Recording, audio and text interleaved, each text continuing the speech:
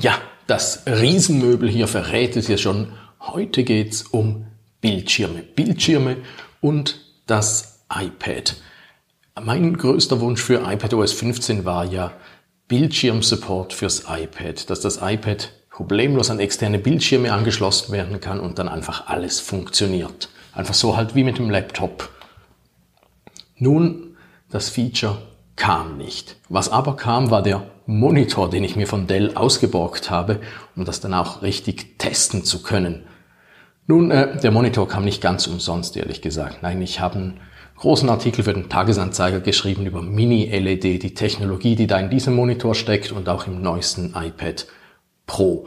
Ich habe ihn unten an diesem Artikel verlinkt. Aber ich dachte, wenn wir das Riesenteil schon hier haben, können wir ja mal noch äh, gucken, wie das wirklich aktuell funktioniert mit Apps und Bildschirmen. Welche Apps können das schon, welche Apps können es nicht und was funktioniert so so lala.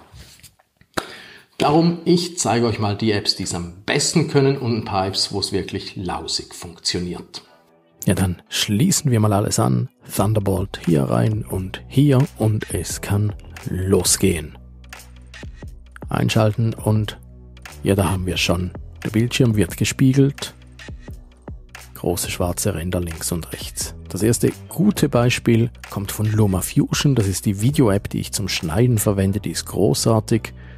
Und die hat eben auch Support für externe Bildschirme. So kann man den externen Bildschirm als Kontrollmonitor nutzen. Seht man jetzt schulz den ganzen Bildschirm. Da sehe ich jeweils mein Video. Hier in dem Fall sogar in 4K. Und unten schneide ich, editiere ich und äh, man hat auch verschiedene Layouts zur Verfügung. Wirklich ein ganz, ganz gutes Beispiel, wie iPad und externe Bildschirme funktionieren könnten. Aber eben funktioniert halt nur auf App-Ebene und nicht generell. Aber hier wirklich äh, bestes Beispiel für externe Bildschirme am iPad. Nächstes Beispiel. Affinity Photo. Die machen es auch großartig. Nehmen wir da irgendein Beispiel. Was haben wir da? Auf dem iPad habe ich gar nicht so viele Fotos editiert. Da nehmen wir das hier. Ja, und dann sieht man auch schon auf dem externen Bildschirm bildschirmfüllend das Bild und auf dem iPad die Bearbeitungsoberfläche mit allen Optionen und Funktionen auch sehr gut gelöst. Gilt übrigens auch für Affinity Designer. So. Nächstes Beispiel Apple Fotos. Die können das auch. Da hat man eine Dia-Show. Unten seht ihr, da sieht man auch noch die Vorschau und alles und auf dem Bildschirm sieht man nur das einzelne Foto. Ja, das sind die misslungenen Brotversuche, bis ich mein wirklich gutes Brotrezept zusammen hatte. Da sind ein paar Sachen ziemlich in die Hose gegangen. Aber wir müssen jetzt nicht über Brot sprechen, sondern das nächste Beispiel. Google Fotos, die machen es noch besser als Apple Fotos.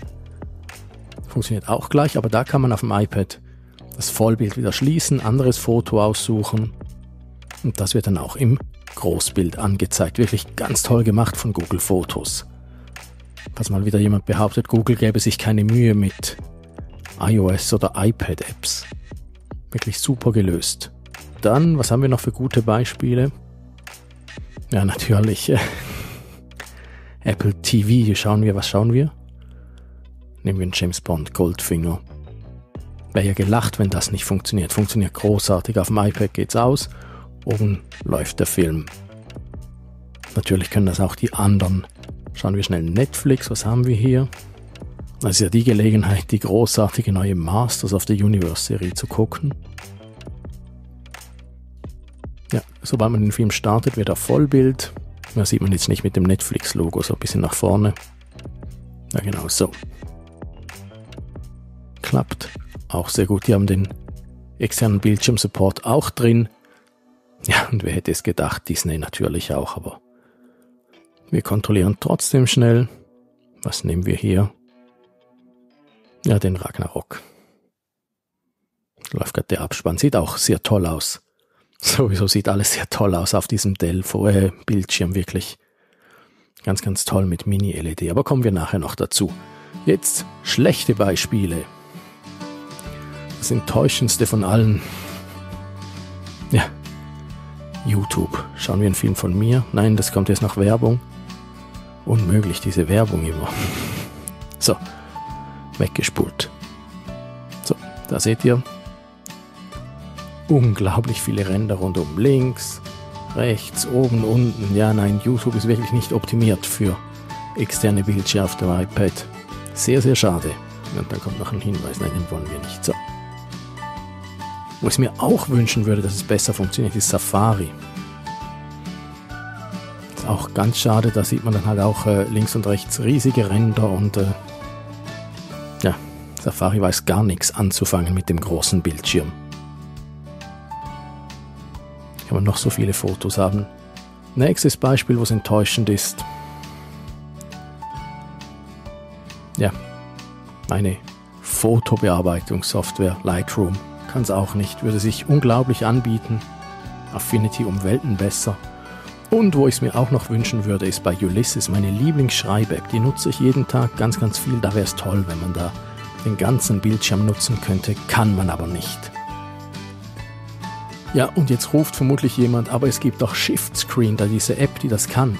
Ja, die gibt's.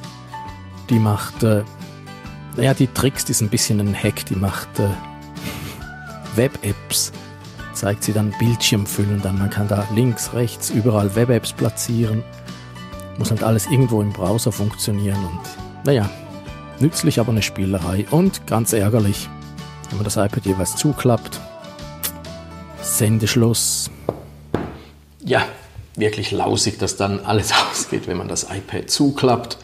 Da hat Apple wirklich noch ein bisschen was zu tun. Ich hoffe ja, es kommt im Frühjahr nächsten Jahres wieder mal Maus-Support, aber vermutlich äh, iPadOS 16, vielleicht sogar 17, keine Ahnung, wann es kommt. Auf jeden Fall, ich wäre sehr froh drum, wenn das ziemlich bald käme, weil es macht wirklich Spaß, mit dem externen Monitor zu arbeiten. Und wie ihr gesehen habt, mit ein paar Apps funktioniert sie auch jetzt schon sehr, sehr gut.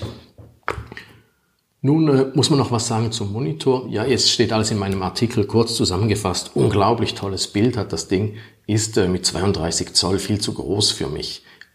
Ich finde ja den äh, neuen iMac mit 24 Zoll ist ziemlich genau die ideale Größe. Aber der hier ist natürlich wirklich äh, Multifunktionstalent. Man kann ja auch rauf und ups, runterschieben, drehen. Er hat alle Anschlüsse, die man möchte. Gerade Thunderbolt ist unglaublich praktisch bei einem Monitor. Da kann man einfach das iPad anschließen und es voll geladen und allerhand Zubehör anschließen. Das hat wirklich Spaß gemacht. Was ein bisschen Nachteil ist, er stinkt, äh, ja, er hat so einen ganz unangenehmen Geruch nach so ein bisschen bräseligem, sagen wir auf Schweizerdeutsch, angebranntem Plastik. Und so oft habe ich ihn jetzt wirklich nicht genutzt, dass er dadurch gebrannt wäre. Nein, vermutlich einfach äh, hat niemand dran gedacht. Und ja, ich hätte es auch schöner gefunden, wenn er ein bisschen mehr Metall als Plastik hätte. Aber er ist jetzt schon 20 Kilo schwer. Mit äh, noch mehr Metall hätte ich ihn vermutlich nicht mal mehr in die Wohnung tragen können. Naja, so viel zu dem Monitor. Den gehe ich jetzt wieder einpacken. Und zurück an Dell mit dem Riesenteil. Falls euch das Video gefallen hat, gerne Daumen nach oben. Falls nein, Daumen nach unten. Falls ihr Fragen habt zu Apps und externen Bildschirmen immer unten in die Kommentare und dann sehen wir uns im nächsten Video.